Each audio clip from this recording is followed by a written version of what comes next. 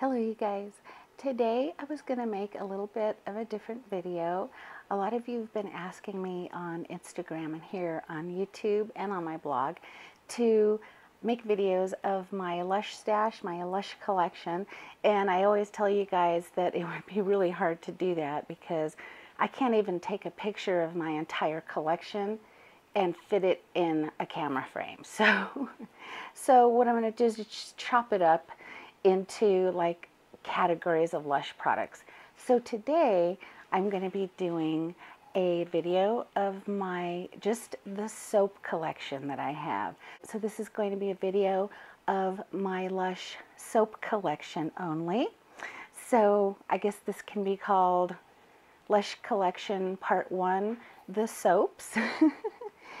but I also wanted it to be a relaxing video. I know a lot of you say you like uh, the more relaxing videos and so I'm going to do a Lush collection and I hope that it's somewhat relaxing. And this is going to be a long video because I have a lot of soaps to go through. So this is something you should buckle in and maybe save for Saturday night or Sunday night when you're taking a bath or something like that. And so now uh, I'm going to turn the camera around and we'll take a look. Okay, so here are my two containers of Lush soap. And this package of Lush soaps are only soaps from the Lush Kitchen, uh, made this year. And this thing of soaps is um, all of the other soaps. For instance, I have limited edition holiday soaps in here, um, sort of rare Oxford Street soaps in here, um, soaps that are in the stores right now, regular soaps I have in here, um, collector's items and such. So I think what we'll do first of all is um, gosh, well, let's go ahead and look at this container of soap first. Okay, so the first soap I'm going to show you is is a soap called Somewhere Over the Rainbow soap and this one was sold for Easter 2014 and also for Easter 2015. So I'm going to unwrap it first. Now when this soap was being sold during Easter um, in the Lush stores, Lush had a big giant soap from which they would cut off customers' pieces. And the big giant soap in the store was a giant round rainbow. And this is one of my favorite smelling soaps because it has such a light pretty fresh floral fragrance. It's got rose as well as neroli, so I always love a rose and citrus scent, and this is quite beautiful.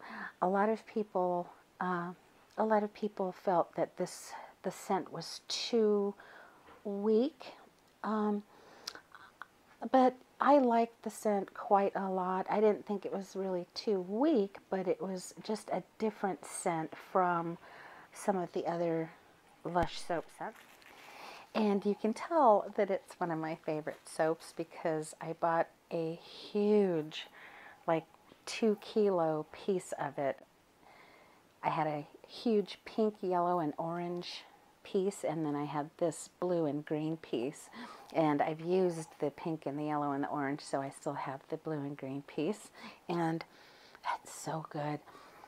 Lush Oxford Street made a really rare uh, exclusive limited edition for last year's uh, 2015 or was it 2016, Mother's Day, that was also called Somewhere Over the Rainbow, and it was made in the same scent as the soap. So I bought about 10 of those bath bombs. so you could tell the soap has some glitter on it. So that's Somewhere Over the Rainbow soap from Lush. And so, yeah, after I pay my bills, that's what I spend my free money on is Lush. So, this one is from Lush Oxford Street and it's called Sticky Banana Soap. You can see those black banana seeds. And it's a creamy, luxurious, very moisturizing soap and it's got honey in there. I don't know if you can see.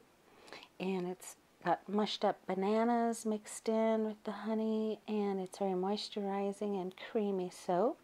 It doesn't smell like, you know, fake bananas, but it smells like real bananas. So it's not overly sweet like, say, banana runts are, that candy. So, so I like that. And this is only available at Lush Oxford Street in London. The next soap is the Carrot soap. And Lush sold this, Lush sells this every Easter. It has a little bunny rabbit on it. And this is, has a lovely fruity fragrance. It's got buchu oil, which is a fruity it's almost a perfumy kind of fruity scent, but in a really nice sort of tropical way. Very nice, very popular. Here's a piece of sea salted caramel soap that is available at Lush Oxford Street in England, and also I believe it's on the Lush UK website for sale. It smells like sort of like uh, coffee or like a burnt caramel smell. And here is a piece of soap that is called orange jelly soap. And it's very, very, very, very orangey. It smells like, if there was such a thing, it smells like orange jam. Like if someone made a jam out of oranges, this is what it would smell like. And then the next soap is Hippie Soap and uh, has a little design thing in there. I have a, a video, a separate video of Hippie Soap if you'd like to see that. And it's made with sunflower seeds and patchouli and such. And the next soap is Ginger Soap and it uh, it's a beautiful soap. It's pink. It's got pink satin ribbons, and it's got uh, roses that are made out of soap that are all over the soap. And this is made in the ginger fragrance. It's a very, very strong and bitter, spicy ginger scent.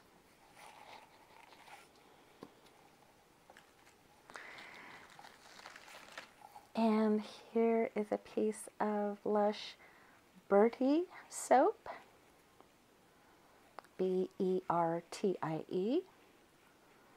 And that the whole soap of Bertie is very, very colorful. So, so this is a yellow and black and green piece from that large multicolored soap. This is has a licorice scent.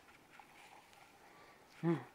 This has the same scent as the Lush Christmas bubble bar called Bar Humbug.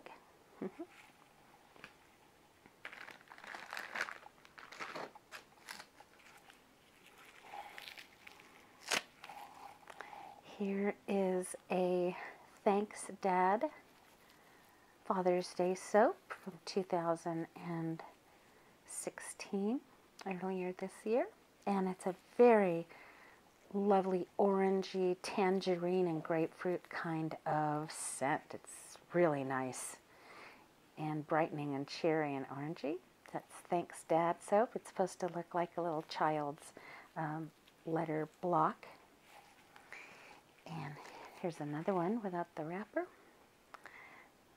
So it's got a D, got an A, another D up here. What it looks like. Isn't it cool? And let's see. Here is a soap called I Should Cocoa, and it's got coconut on the top. It's got some pink, some dyed pink bits of coconut and regular pieces of coconut, and it smells like coconut. And it, it's exfoliating because it has that one layer on the top of it.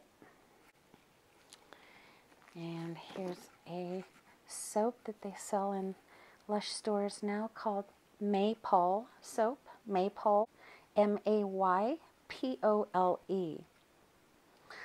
So that sounds like a maypole, but this also has maple syrup in it and mint. So maypole has it has two different meanings.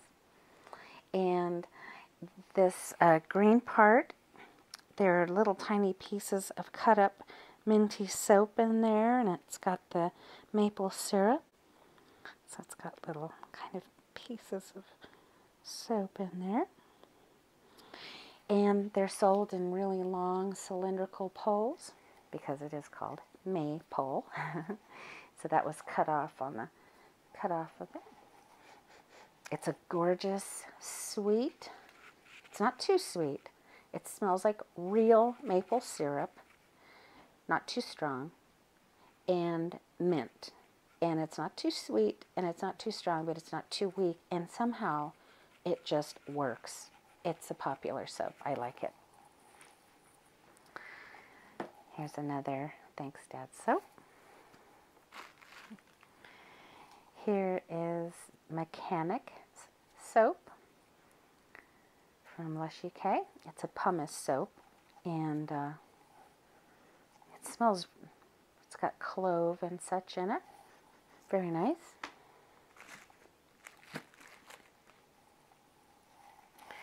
Here is a soap called Magnificent Soap, and it's made with mangoes. It's one of my favorite soaps. Just like, smells just like mangoes. It's so, so gorgeous. Here's another piece of the Bertie soap off of the, uh, this one came in the gift set box. That's why the, the shape is like this. It looks like those licorice all sorts candies. Love it. So, so that's these two from the same soap. And let's see, then I have I have two Gay is Okay soaps from Lush made in the Love scent and they're gold bars. It's hard to see because I wrapped them up so much, but they're very gold. and they have a nice apples and cinnamon scent.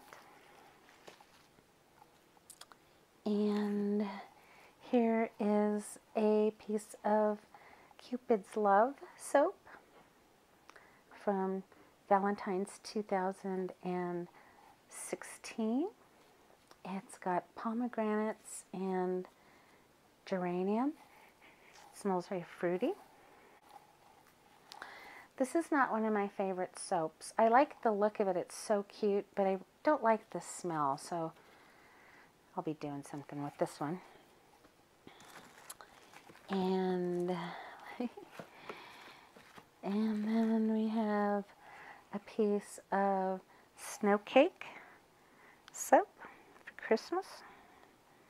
I got the part with the little designs on it, and this is gold. And that was from last year.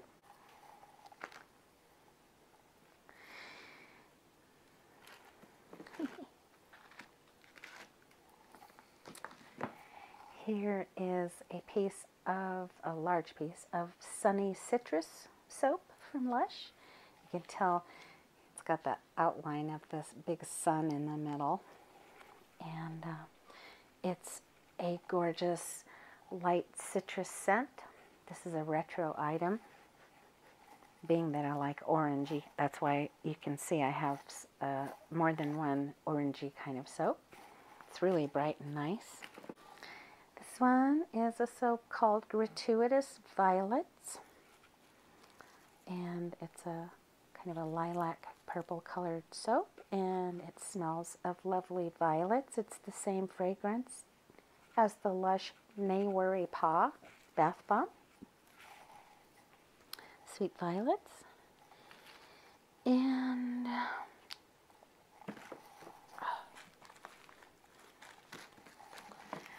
And then here is a Lush Golden Moon soap, which is actually the soap is called Angel's Delight, and these gold soaps uh, were actually um, there were gold moons like this inserted into that big giant Angel's Delight soap along with stars and such. So these are the just the gold moon parts. The soap is gold and it has sparkly shimmer all over it. And here is a piece of candy cane soap. And it smells minty, like a candy cane. Here's a piece of Lush Summer Pudding soap.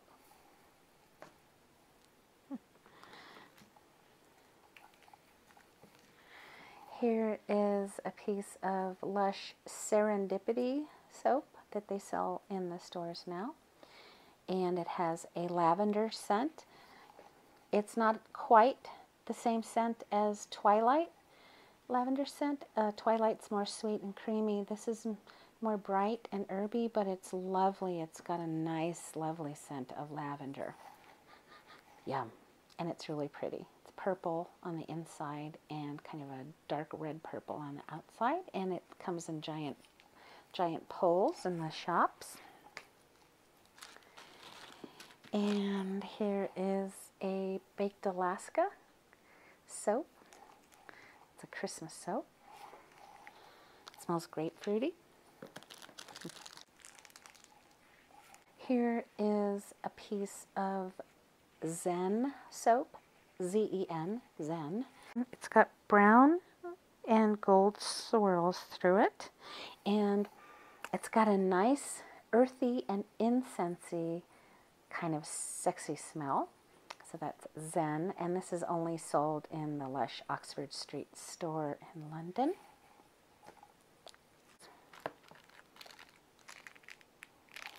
Here is a Lush Milko soap, which I love. It smells like vanilla ice cream.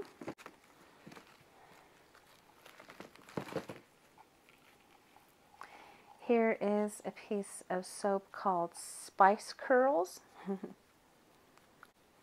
that has cinnamon and clove. It's really yummy and sweet and spicy. Here is a piece of Amandopondo soap from Lush UK. And it smells grapefruity. Looks like a grapefruit. Here's the soap for Halloween 2016 called Fireside. It smells like, uh, to me it reminds me of Cinder's bath bomb. It's got orange and cinnamon. Here is a piece of Santa's Post Box, Christmas 2016 soap. It's got neroli and orange and orange flower. Lovely red color.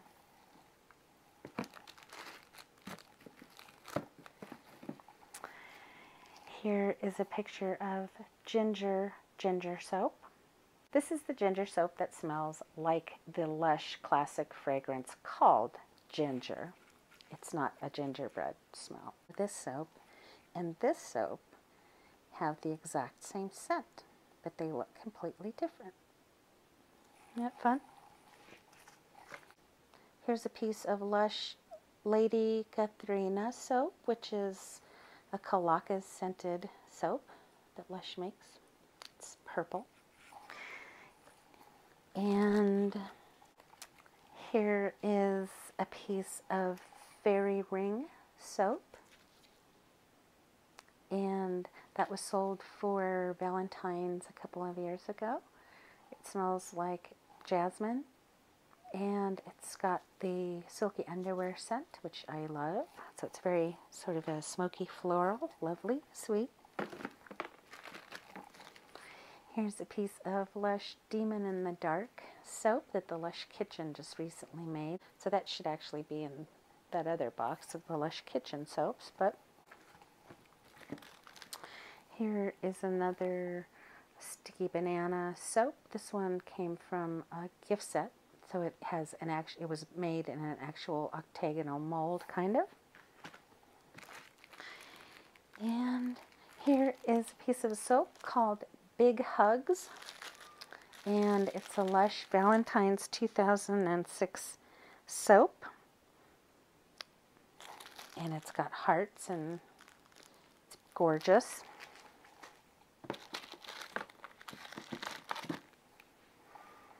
Here's a olive soap. It's a gourmet soap that they sell only at the Lush Oxford Street store in London, made with lots of luxurious fresh things like olive oil and such.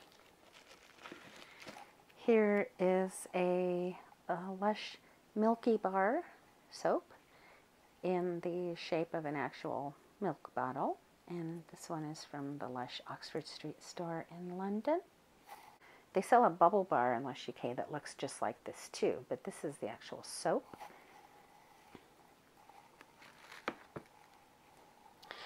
Here is a giant piece of the Lush Oxford Street Gourmet Soap.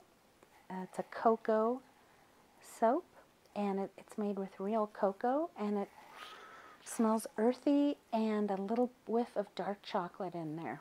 It's very luxurious. Um, it's got cocoa butter and real cocoa, and it has a dark earthy smell with a whiff of cocoa inside. It's just incredible. So I bought a huge piece right here. That's a gourmet soap. You can find that under my blog under the Oxford Street Exclusives page.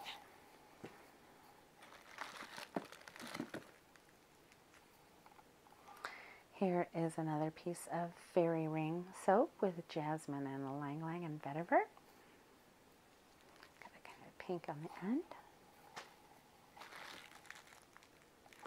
Here is a piece of Sultana of soap, which they sell in the stores now, and that has sort of a frankincense and blackberry scent. This one Here's a piece of soap called Twas the Night Before Christmas. And this soap is a dark indigo blue with indigo blue sparkles on it. And this is called Twas the Night Before Christmas. And it has the Lush Black Pearl scent. Lush made this Twas the Night Before Christmas a few years back. So says it's got beautiful black currant and lavender scented hand and body soap. And I have two or three pieces. So this is a gorgeous piece of soap. Okay, I'll stop for now. Mosquito Lush Oxford Street Gourmet Soap.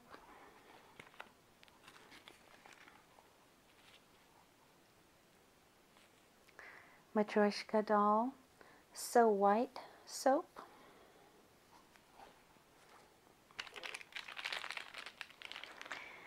This is Miranda soap. It's one of my favorite soaps. This is uh, Chalks Away chocolate soap. It's in the shape of a of a flower, and it's chocolate and mint. This is a soap from Lush's Be Never Too Busy to Be Beautiful boutique in London in 2004 or 5 and on opening day they were giving these soaps away. So I have that soap. And this one is called this one's called Wash My Back Yin Yang Soap. And this one is called Sweethearts Soap. I have a couple of them. This is Christmas Cake Soap. This is Mallorcan Lush Oxford Street Gourmet Soap. Lush Icon Soap.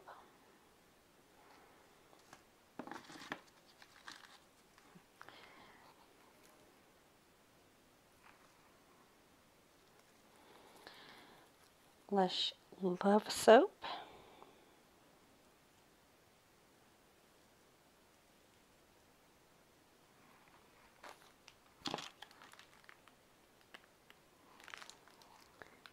Lush North Pole Soap.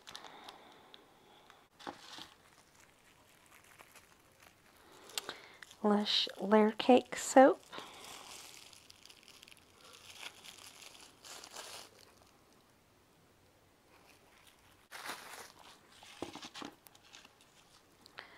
Lily soap. Lush Japan Temptation soap.